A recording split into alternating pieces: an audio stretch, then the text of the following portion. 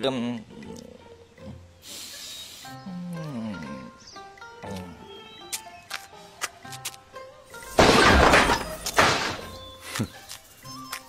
起来！喂，哎，谁？哥，有话问你，当日在九玄机，你是如何破解的机关？有暗器就躲，有机关就拆，不然还能如何？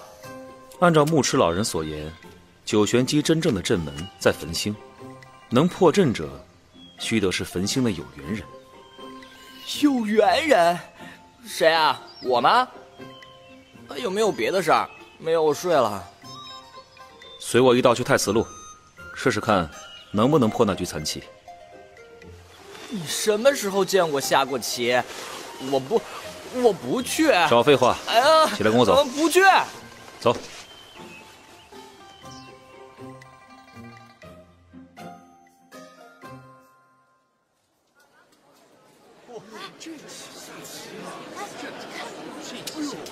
快上去，别磨蹭。就说不会下棋了。哎呀！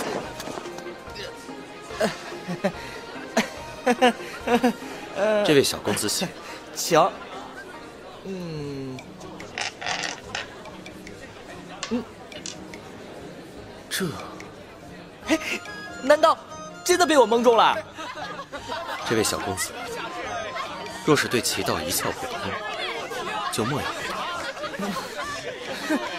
您说的是，告辞。你还笑？唉，罢了罢了，反正你确实不会下棋，也不丢人。不过有件事，倒是奇怪。嗯，怎么了？紫蟾蜍似乎有些亢奋过了头，一直在盒子里蹦跶，最近才喂过，按理说会一直睡到下个月呀。紫蟾蜍以蛊虫为食，如此反常，十有八九都是闻到食物的香气。难道说，那赛潘恩身上有蛊虫？王爷，小王爷，方才小王爷下了擂台后，那赛潘安便像是病了一般，手脚颤抖，早早的就收了泪回去了。那很可能是他身上的蛊虫受到了惊吓导致的。哼果然有蹊跷，我们得查一查他。还怎么查？反正我已经暴露了。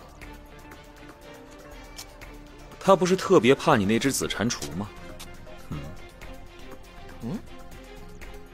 哦。晋江文学城雨笑阑珊原作，猫耳 FM 出品，北斗企鹅工作室制作。广播剧《帝王攻略》第十期。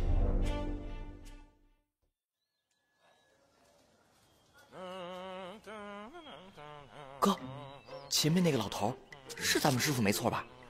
啊，都跟他说了，进了王城要规矩些，看来全当耳边风了。师傅，谁呀？哎呀，是你们俩呀！师傅，听徒儿的话。进了城别四处惹事，好吗？逆徒，你师傅我有那么不靠谱吗？我就是驿馆里待不住，出来溜达溜达。嗯，看来还是闲的。正好，现在有事情想要拜托师傅。什么事儿啊？不好玩不干啊！师傅，你一定会有兴趣的。这几日有一个在城中摆棋局的人，自称是赛潘安。我们在调查他，刚刚想到一个。套他话的好法子，什么法子啊？当然是好玩的法子了。师傅要不要一起啊？你不说清楚，我不去啊！嗯，一会儿断念会带我们去赛潘安在城内歇脚的地方，擒住他之后，瑶儿会放出紫蟾蜍，和他相处一段时间。紫蟾蜍，紫蟾蜍不应该还在沉睡吗？这会儿怎么突然醒了？随我们一起去看看，不就知道了吗？王爷，赛潘安就在这间屋子里。方才见到他的侍童出去，屋里应该只剩他一人了。嗯，师傅，瑶儿，哎，瑶儿，紫蟾蜍带好了，带好了，蹦得可欢实呢。那走吧。赛潘安公子，我们几个有事要问你。谁？怎么，臭小子，今天挑战棋局失败，觉得脸上无光，便招打手来报复吗？哥，师傅，他说你们是打手，真正的打手，该是我吧？到底来做什么的？别在我的地盘上耍宝！哼，别激动啊，潘安公子，你一激动，我怀里这只紫蟾蜍也跟着激动，这不，噗一下子就藏不住了。什么？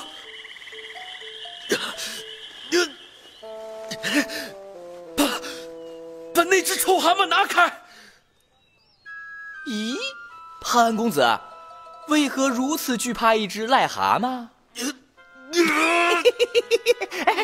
意思，有意思，果然有意思。哎，他这脸上是在煮虫子汤吗？咕嘟咕嘟咕嘟咕嘟咕嘟。住手！要要问什么就问，把那只蛤蟆拿远点儿！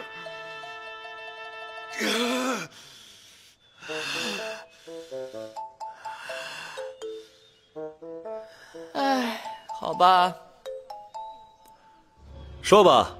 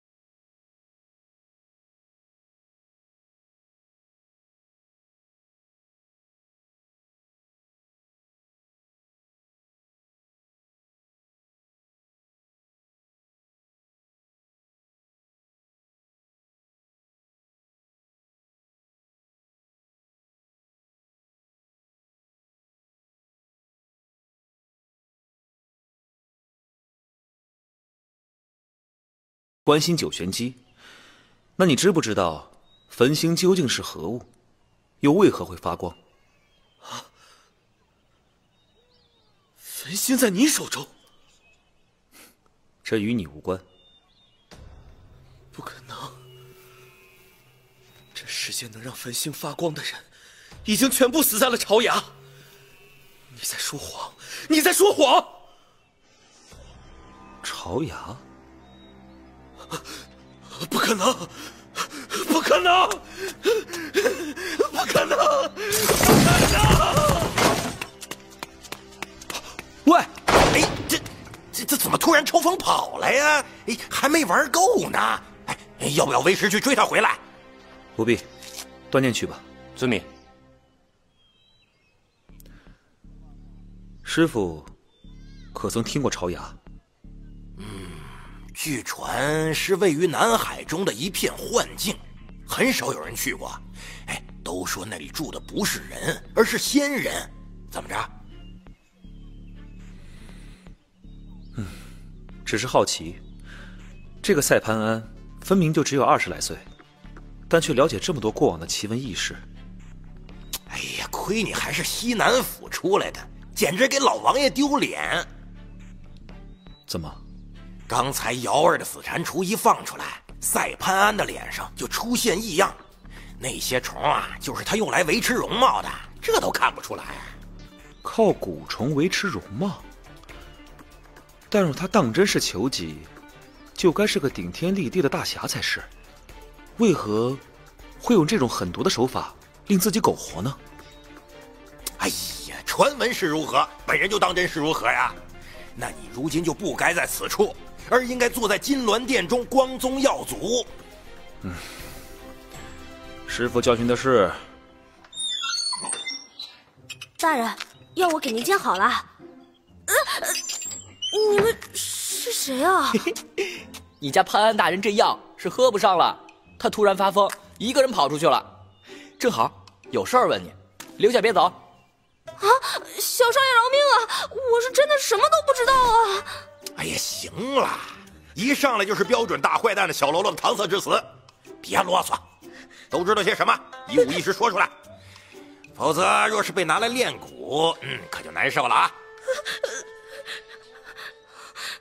好，好，各位大人尽管问。小的知无不言，言无不尽。你什么时候开始跟在那个赛潘安身边的？塞潘安先前一直生活在宿州鬼乡，说是鬼乡，其实就是全村子的人都遭了不治瘟疫，邻村必有不及。而我原是一个小贼，被村民追打时不慎闯入鬼乡，晕晕乎乎中了毒物。再醒来的时候，身体里便被中了蛊虫，只得留在塞潘安身边伺候他。如今也有四年了。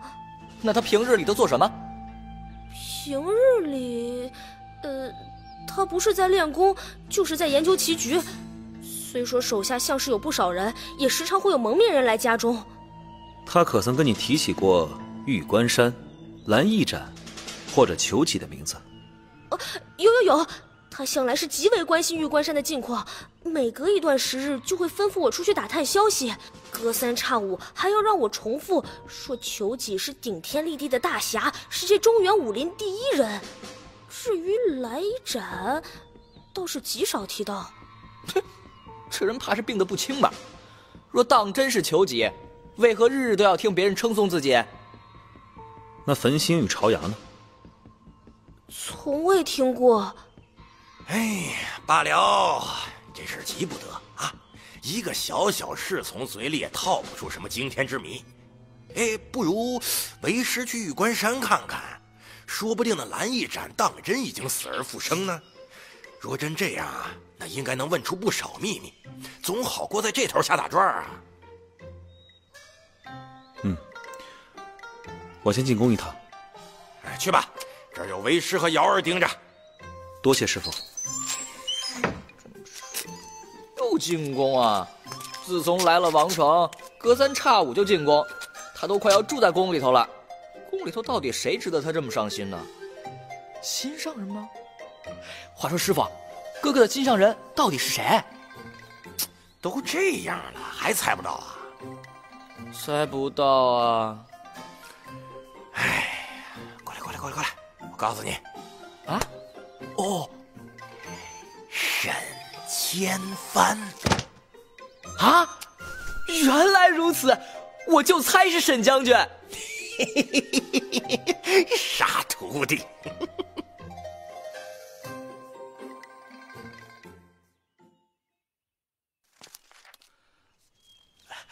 皇上不必担忧，王爷说不定等会儿就来了。说要找人调查焚心局，结果又是他亲自上阵。那赛潘安来路不明，一切还尚未查清，为何如此冒失？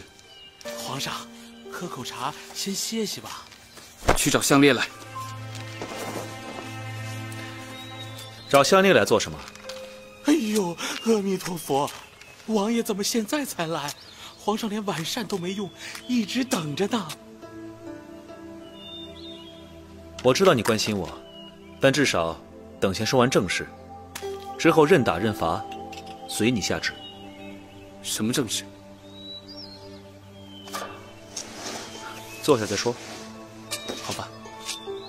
四喜，给给西南王爷倒些茶。是。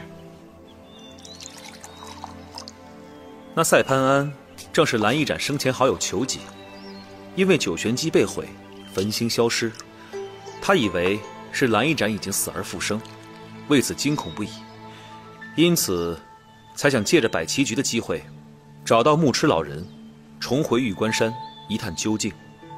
所以这一切，只是因为焚心被盗了。应当是吧？他得知有人能让焚心发光后，突然疯疯癫癫的，说什么能让焚心发光的人都死在了朝崖。可现在，只有你一人能让焚心发光。就凭这个，我也要查清楚，究竟是为何。朝牙，这个地方，我听过。好，说说看。在我七岁那年，宫里来了几位神人，便自称是来自朝崖。也是在他们走之后，母后才会偶尔提起焚心。现在想来，也是从此处知晓。为何是神人？当时我小，只知他们能观天象，在临走之时，还从宫里带走不少珍宝，看起来极受父皇重视。在那之后，还有朝牙的人来过吗？他们离开的时候呢，曾约定要十年后再来。但十年后父皇病危，也未见其出现，此后就更无牵连了。原来如此。还有件事，你听了或许要生气的。什么事？我需要请教牧师老人。关于千回环的事情，如果玉关山中真有秘密，不弄清楚，我不放心。你一个西南王，跑去凑什么热闹？不许去！你看，我就说要生气吧。其实，也并非是我亲自去，是我师父对此有兴趣。哼，南前辈为何会对此感兴趣？又是随口编个故事来搪塞我的吧？骗你做什么？将来相处久了，你便会知道，师傅当真是一个好管闲事之人。他武功高的邪门，近来又闲得发慌，我看他在城里也是待不住，就当是去玉关山看热闹吧。而且，如果那蓝衣斩与他一样，都会死而复生，没准儿他想去认认亲呢。听你说话，可信度总要打个对折。这次是真的，我哪里都不去，就在宫中待着，这样可行？信我，我再多送你一样宝贝。哼，西南府的宝贝还真不少啊。只要你一句话，莫说是西南府的宝贝，就算是想要西南王，也能亲自策马前来。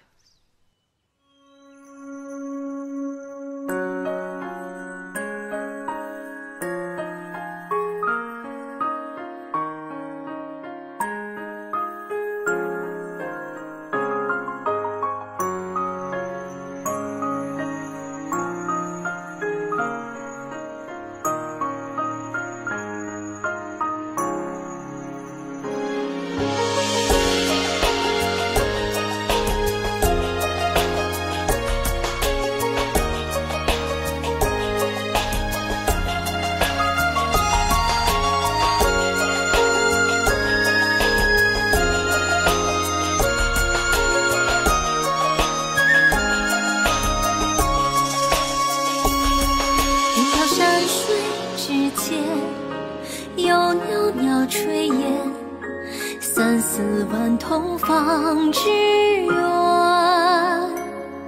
莲秀泼墨一卷，而情至深处，画中你与我比肩，写过诗句百篇，竟已忘言。树儿梅花开满。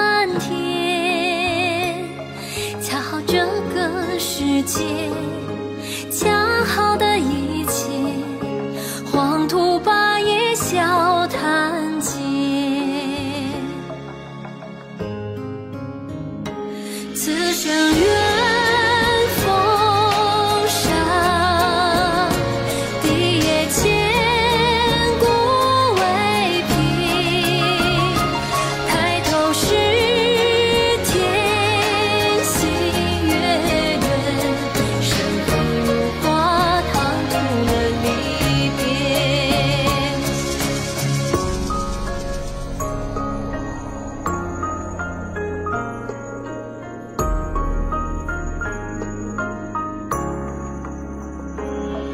雨落心中之前，别虚透窗沿。重逢是否能预言？半月千里冬天，想起了思念，不急不缓这缠绵。夜半钟声